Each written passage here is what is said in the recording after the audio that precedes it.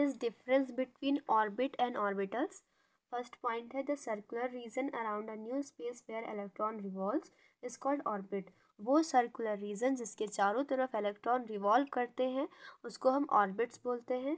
No directional character is shown by orbits orbits के द्वारा कोई भी डायरेक्शनल कैरेक्टर नहीं दिखाया जाता है। Whereas the three D three dimensional region in the space around the nucleus where the probability of finding electron is maximum is called orbital जबकि वो थ्री डी रीजन स्पेस में जहाँ न्यूक्लियस के चारों तरफ़ जहाँ पे इलेक्ट्रॉन्स के पाए जाने की प्रॉबिलिटी ज़्यादा हो, उसको हम ऑर्बिटल्स बोलते हैं। All orbit are circular in same जितने भी ऑर्बिटल्स होते हैं, वो सर्कुलर होते हैं। सॉरी ऑर्बिट्स जो होते हैं, वो सर्कुलर होते हैं सेप में।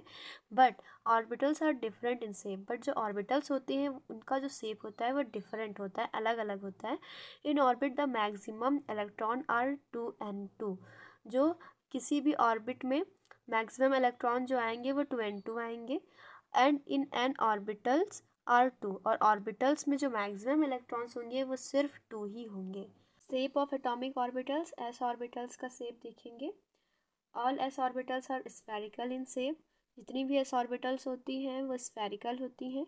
Nucleus is situated in the centre of S orbitals S orbitals के सेंटर में न्यूक्लियस रहता है ऑफ़ एन एटम किसी भी एटम में। All S orbitals of an atom किसी भी एटम की जो एस ऑर्बिटल्स होती हैं आर सिमिलर इन सेप वो सेप में सिमिलर एक जैसी होती हैं, सिमिलर होती हैं, but different in it size, but उनका जो साइज़ होता है वो बड़ा होता है और मतलब डिफरेंट होता है। Example one S orbital is smaller in size one S orbital जो होगी वो साइज़ में छोटी होगी but two S in bigger than one S orbital जो टू एस सब ऑर्बिटल होगी, वो वन एस ऑर्बिटल से बड़ी होगी। फिर S orbital is spherical symmetrically जो एस ऑर्बिटल होती है, वो स्फेरिकल होता है symmetrically at every point the probability of finding electron is similar कहीं पे भी, किसी भी पॉइंट पे जो एस ऑर्बिटल होती है, उसमें इलेक्ट्रॉन के पाए जाने की प्रॉबिलिटी जो होती है, वो समान होती है। एस ऑर्बिटल को इसीलिए हम नॉन डायरेक्शनल भी बोलते हैं। Therefore the distribution of electron is similar in all direction तो जो इलेक्ट्रॉन का डिस्ट्रीब्यूशन होता है, वो एक ही जैसा होता है सभी डायरेक्शन में।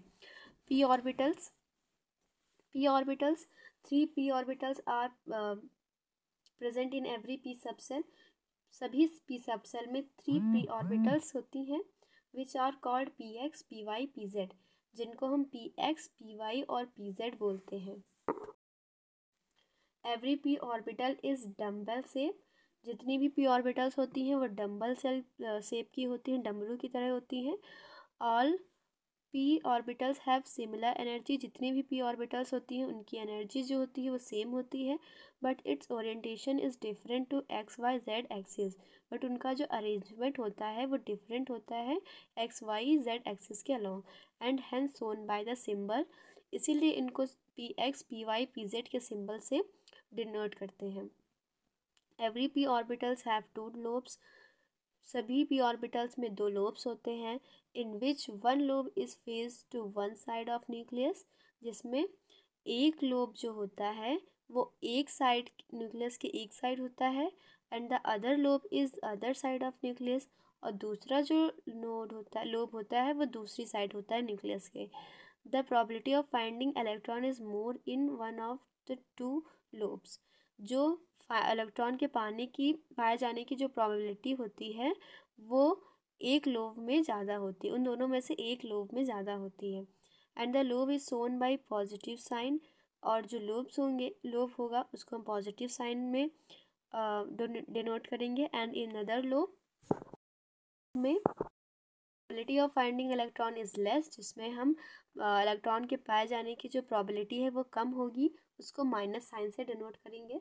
The point at which the lobes joint is called nodal surface जहाँ पे वो दो पॉइंट्स मिलेंगे वहाँ उसको हम नोडल सरफेस कहेंगे और प्लेन कहेंगे where the probability of finding electrons is zero जहाँ पे इलेक्ट्रॉन के पाए जाने की जो प्रोबेबिलिटी होती है वो ज़ीरो होती है। जैसे कि ये एक्स के एक्स एक्सिस के अलॉन्ग है तो इसको पी एक्स बोलेंगे पी वाई पी जेड ये जो है वो नोडल सरफेस है। यहाँ पे हमें आ, कोई भी इलेक्ट्रॉन नहीं मिलेगा।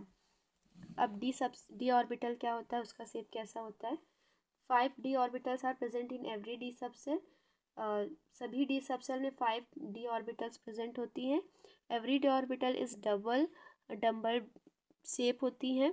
डबल डम्बल शेप की होती हैं सभी d orbitals all d orbitals have similar energy सभी के पास सिमिलर एनर्जी होती है.